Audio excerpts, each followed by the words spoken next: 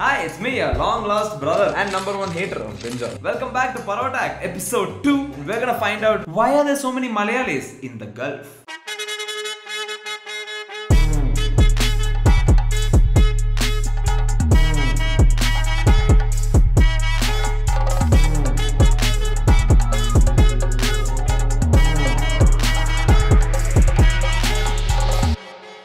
Kerala, the land of coconut trees. Kerala, the land of obscenely well shot tourism ads. I mean, have you seen the Kerala, the land of madrasis if you are North Indian. Kerala, otherwise known as God's own country. But I don't think that the people believe in that enough because half of them are in another country. I am talking about the Gulf.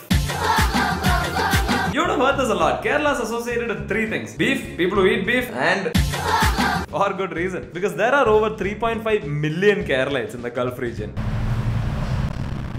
That's a lot of people. 3.5 million Malayalis. Now you know why they don't have a democracy because if they had an election, Fahadh Faasil might become their president. Fafa, I love you. Do you want proof? Just look at this map. There is a Malayali restaurant in every corner of a Dubai street. If you throw a stone randomly in Dubai, you're probably gonna hear. Fun fact Malayalam is the third most spoken language in the UAE, which means that if you have Disney Channel there, you're probably gonna hear Hannah Montana singing. The impact is felt in Kerala as well. For example, this is a random hill in Kerala. Why are there photos of Gulf leaders there? Just look at them, they're so confused. Even they're like, What am I doing here? I am very confused right now. Is that man removing his mundu? So what exactly do we mean by the term Gulf? Geographically, it means this. And there are many Gulfs, like the Persian Gulf, Gulf of Mexico. But in Malayalam, it means the Gulf is a collection of countries like Saudi Arabia, UAE, Oman, which are all Islamic monarchies characterized by the obscene amount of wealth that they have. And all that wealth is because of one thing. I- I'm joking, I'm joking. The actual thing is. I am joking again, I'm sorry. I'm so- the actual thing is. The truth for sure this time is. Oil. Huge ass oil reserves thanks to geography. and relaxed tax laws have created a safe haven for some of the world's most wealthiest and extravagant lives. And when I say extravagant, I am not making this shit up. It's insane. Like. For example, this kid who has a personal zoo in his backyard. Same as you, he also has two friends called Ramesh and Girish. Except his are endangered animals. Do you have a lot of money know what to do with it? Do you want to know the best way you can invest your money? Well, Gulf Asset Assistance and Network Distribution is exactly what you're looking for. We invest your money in ever appreciating assets like artificial islands where you can be neighbors with Shah Rukh Khan, the, the disco, the, the world's largest toothpick, camel races with robots on them. It's true, I'm not joking. And cute pets for your. Why are you running? Gulf Asset Assistance and Network Distribution. Moving on.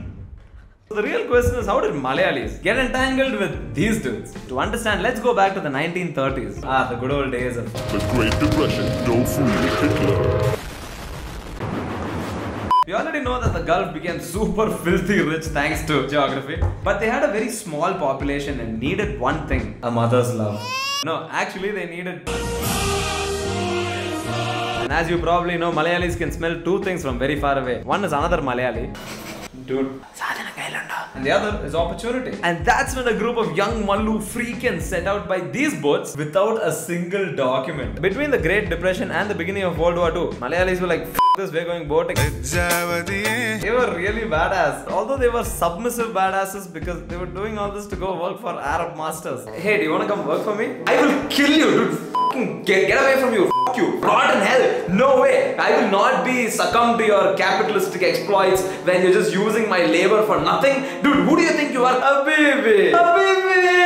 Awesome. The journey by boat took a very long time. Naturally, it was an unpleasant voyage, and their futures when they landed were unpredictable. But the good news is that they made it to shore and got the jobs that they wanted. By the 1970s, rising oil prices and the economic boom prompted Keralites to recruit more of their friends and family, and thus the big exodus began, which turns out was just a major referral program. Hi, Anna. I'm your college junior. You remember me? What, dude? I danced in your farewell party. Remember uh, that Mukaba, Mukabala, Lela. Oh, Layla. Okay, dude, you have to calm down. Okay. Anyway, this is my CV. Can you please refer me, Anna, please? Among the new immigrants, manual workers were the majority, but there was also a good mix of like doctors, engineers, and teachers. The holy trinity of respectability. എന്റെ മോൻ engineer ആണ് doctor എന്റെ മോന് teacher And because of this and the wonders of reproduction, every fourth Indian in the Gulf is now a Malayali. If you want to know the impact that this entire thing has had on Kerala, you just need to know one word remittances. It means all the money that is sent from people working abroad to their families in their home country. And Gulf Mallu send a lot back home. And I mean a lot. You want proof? Just walk around some random village in Kerala and you'll find houses that look like this, where there are eight bathrooms for one person, namely you, after a night of heavy drinking.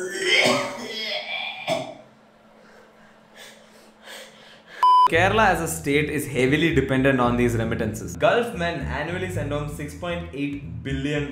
For perspective, the Burj Khalifa, world's tallest building, built for $1.5 billion. So this entire Gulf bet has made Kerala pretty rich. But the impact is not just one way. Malayalis have also had a massive impact in the Middle East by owning some of the biggest businesses like Aster Healthcare, Gems Education, and the only supermarket no North Indian will ever enter. Lulu.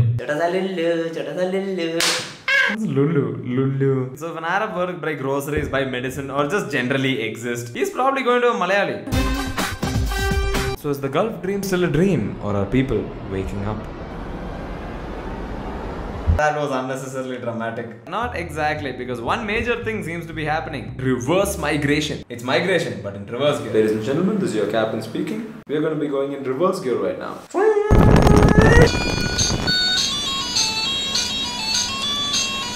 It's this thing where a lot of non-residential Keralites, NORKs for short, which is a terrible abbreviation by the way, because we Google NORKs and guess what it means? Bruh.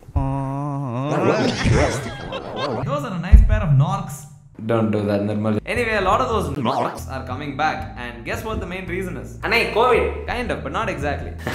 You see, the GCC leaders, you remember these guys, are trying to promote an Arab first policy, which means that they're trying to decrease their dependency on foreigners, and Keralites are first in the firing line. Sir, what line is this?